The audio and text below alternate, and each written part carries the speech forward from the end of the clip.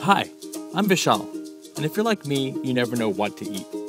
It seems like my entire life I've been wandering around supermarket aisles looking for that perfect snack.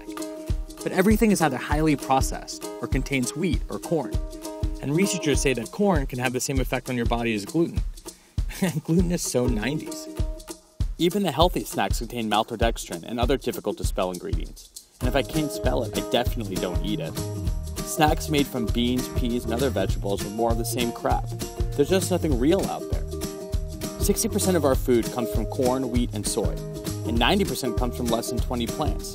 That seems crazy to me considering there are 300,000 plant species known to man. Why not look for something new?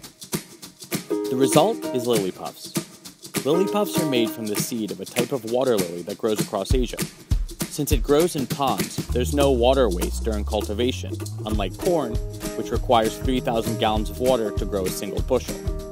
We source the highest quality of water lily seeds from remote parts of India.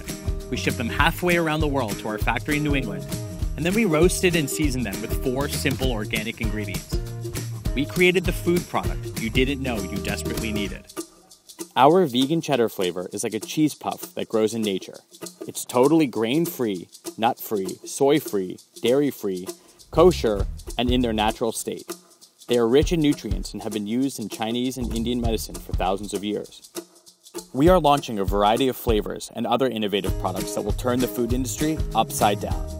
Help us get Lily Puffs off the ground and into a market near you.